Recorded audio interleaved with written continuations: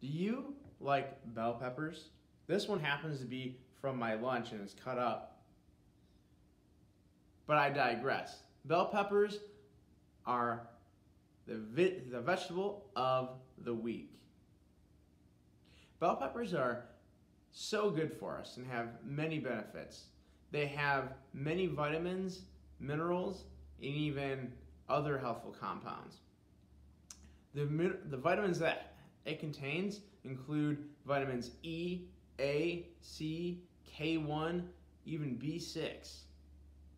It has folate and potassium in it for minerals.